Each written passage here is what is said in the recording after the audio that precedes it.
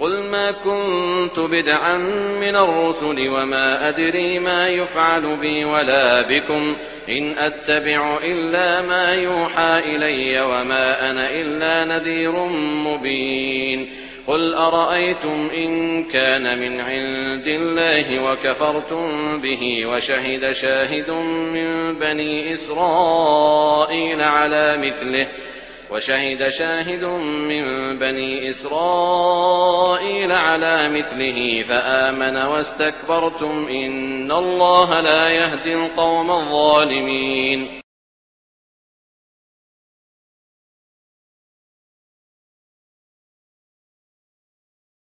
with me today Rabbi Daniel Lappin. He's truly one of the great Bible scholars of America.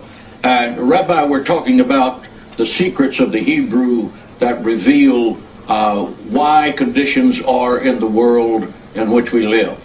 There are only two biblical nations that have the name of God, El, in their names. Uh, Israel, that's Israel, and of course Yishmael, the Arabs. Is this a coincidence? Well, of course, we must remember that in the Lord's language, in Hebrew, uh, there is no word for coincidence. And the general rule is that if there is no word for a concept in the Hebrew language, then that concept doesn't exist. It's a false concept. Um, there are two people, and this is what's so interesting. When God uh, said to Hagar that she's going to have a son, uh, God actually said what this child has to be named. He has to be named Ishmael. And when a, Jacob's name was changed from Jacob to Israel or, or Yisrael, there was also God speaking. So it's only two people who became nations whose names were given to them by God Himself and whose names contain the word God. Uh, Ishmael and Israel. Those are the two nations. Now, it's kind of interesting because um, uh, Israel means um, he will make God his master.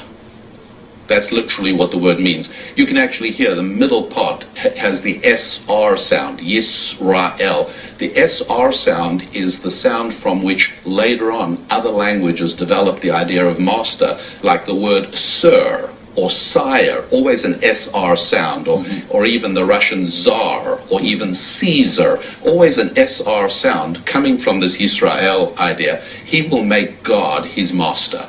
And that is, surely, is that not the essence of the Judeo-Christian tradition? Absolutely. We will make God the boss. That's right. That's what it's about.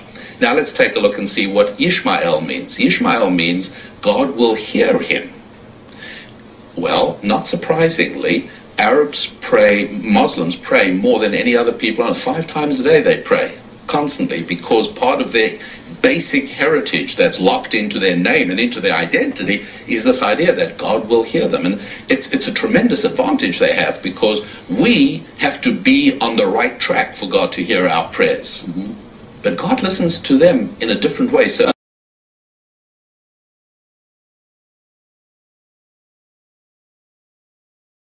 Comment eux ils disent Dieu Allah, c'est le même mot. Allah, ça vient de elle, comme beaucoup de mots arabes viennent de l'hébreu. Allah.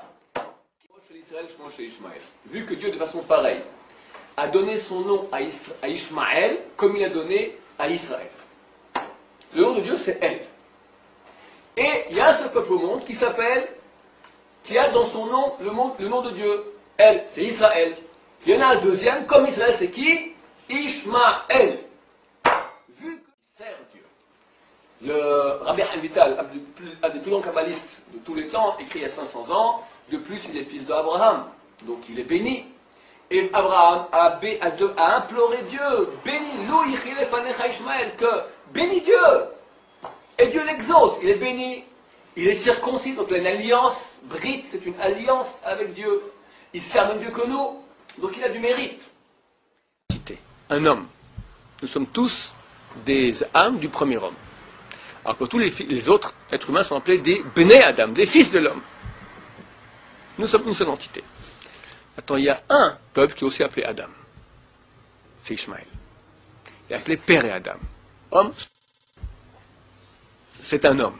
C'est la seule religion au monde qui sert le même Dieu que nous. La seule. Le Dieu d'Abra- d'Abraham. T'en connais une autre? Tu me fais une grimace comme ça. Ils servent avec leur fils aussi. Il y a le Père, le Fils, Saint-Esprit, la Marie, la Vierge. Ils ont toute une collection là-bas. Eux, rien. Que lui. Abraham a prié Dieu, bénis Ishmaël. Et Dieu a béni Ishmaël. Il est béni. Ce peuple qui fait la Brit Mila. Ce peuple qui a droit à être en terre d'Israël à la place de nous. À l'endroit du temple. Aucun autre peuple a pu y être, longtemps en tout cas. Donc au niveau des mérites, il est beaucoup plus grand que les autres.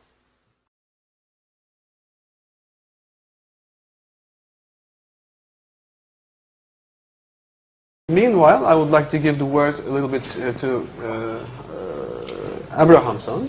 Uh, could you say a comment on the issue a little bit? Yes. Okay. Um, well, I'm uh, Benjamin Abramson. I, I am an Orthodox uh, Hasidic Jew from Israel. Uh, and I work as a historian or um, a kind of consultant to the court that, uh, in Jerusalem that Rabbi Hollander is talking about. Uh, most of the people here know me from my endless discussions about uh, the similarities between Islam and, and Jewish customs. Uh, I, I, I like very much to talk about common prayer customs between Islam and, and Judaism, about the similarities in architecture between the masjid and the uh, synagogue, between the similarities of the calendar, the, the Jewish uh, uh, holidays and, and customs.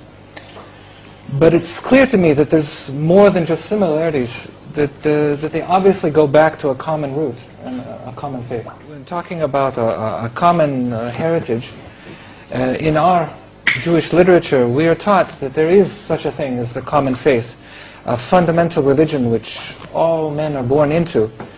And this is a basic faith which is obligated on all mankind.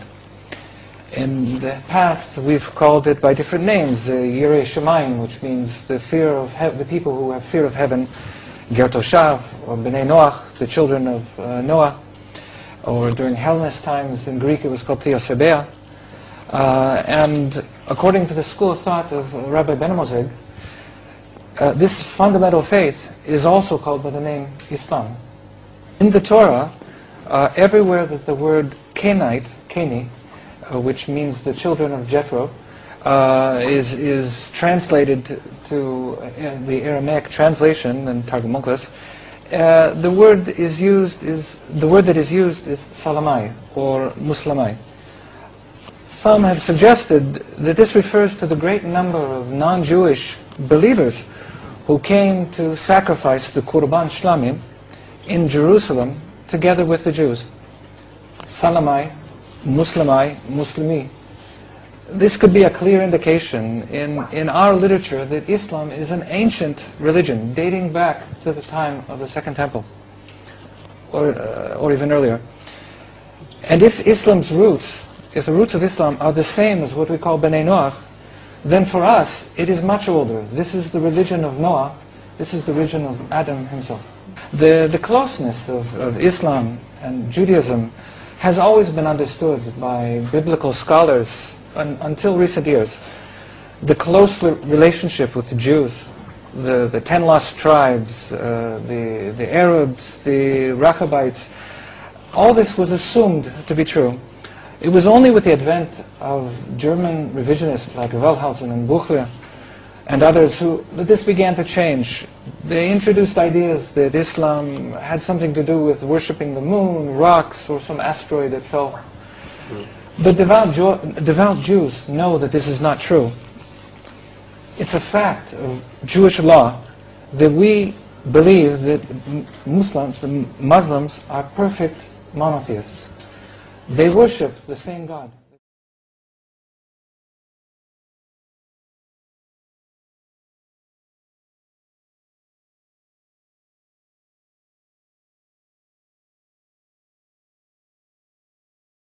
is mentioned by name in the original scriptures.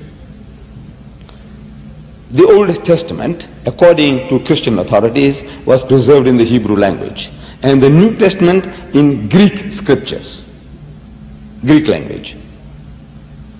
In the Old Testament, in the Song of Solomon, chapter 5, verse 16, in the Hebrew language, it reads,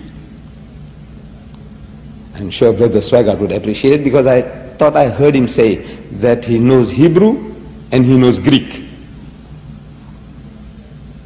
In the Hebrew language, it says, Hikko mamitakim vi kullo Muhammadim zahdudi vi zahra'i bainat Jerusalem. Song of Solomon, chapter 5, verse 16. The word Muhammadim is Muhammad, im, im, I am im. Im is a plural of respect in Hebrew.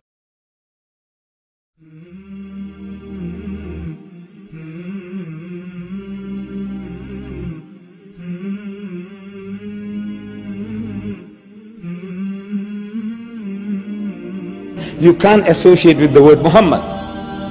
You read it a thousand times, altogether lovely, altogether lovely. Or let's say in another language, the praised one, the praised one. Muhammad means the praised one. But he said the praised one, the praised one. You can't think that he's talking about Muhammad. Though Muhammad means the praised one. You have no right to translate names of people.